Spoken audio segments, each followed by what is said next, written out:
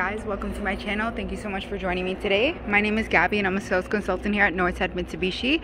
Today I have a quick little walk around video for you. It's going to be on our cute little 2022 Mitsubishi Mirage SE so this one here is a higher trim level. It's going to have a lot more features than our base model and it's in a beautiful wine red color. I'm very I, I love the color of this vehicle. Now it is super awesome. It has a very small engine size so you're to save a lot on gas here. This one does have a 1.2 liter three cylinder engine guys. So you already know it's to be very very fuel efficient. We also have 14 inch steel rims and these are with your all season tires of course. And i just want to give you a very quick look of the entire look of this vehicle here. Now it is a small car but it is going to be super awesome and it's actually very roomy and it has a lot of power to it when you are driving.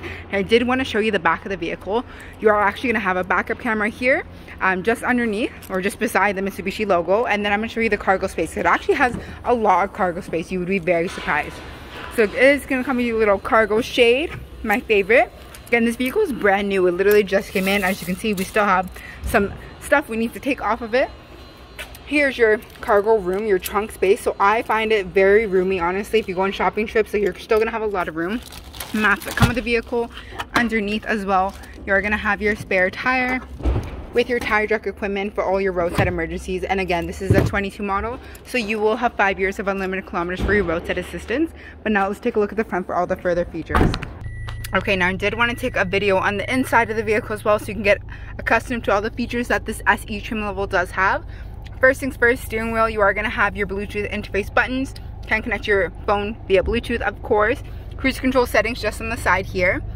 This vehicle only has 21 kilometers, guys. Like I mentioned, it is brand spanking new.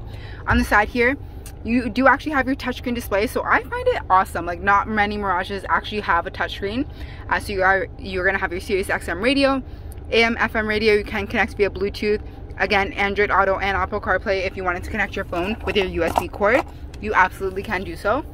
Underneath, you're gonna have your climate control settings. And then this is just a nice quick little peek of our beautiful 2022 Mitsubishi Mirage. Again, this is our SE trim level. Thank you so much for joining me today. I really do appreciate it.